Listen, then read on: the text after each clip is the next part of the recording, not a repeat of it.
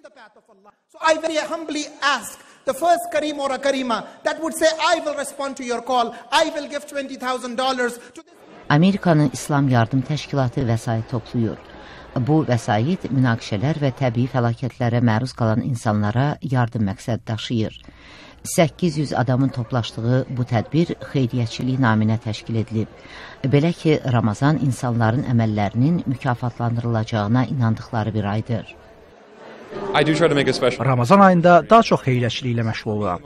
Mənim üçün ehtiyac içərisində olan insanlara onların xahiş etməsindən əvvəl əl uzatmaq çox mühümdür.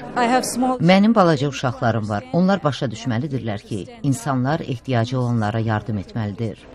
İslam Yardım Təşkilatının icraçı direktoru Ənvər xan Ramazan ayında xeyriyyəçiliyin artdığını deyir. 50% İyanlərin 50%-i məhz Ramazanda toplanır. Biz 6 ay ərzində gördüyümüz işi Ramazanda bir ayda görürük.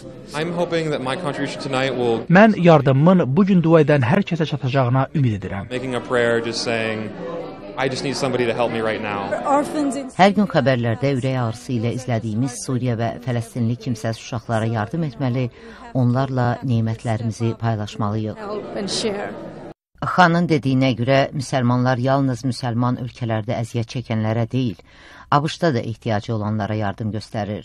İyanələr yalnız evlərin inşasına deyil, münasibətlərin də yaranmasına xidmət edir.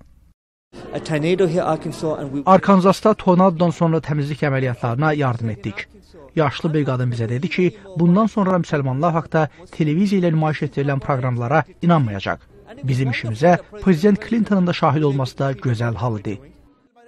Bir saat ərzində tədbir 200 min dollar pul toplayıb. So let me see the second hand for $20,000. $20, Takbir, mashallah.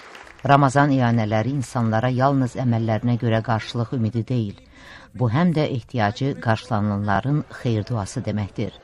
Vaşinqtondan Sevda Əliyeva, Amerikanın səsi.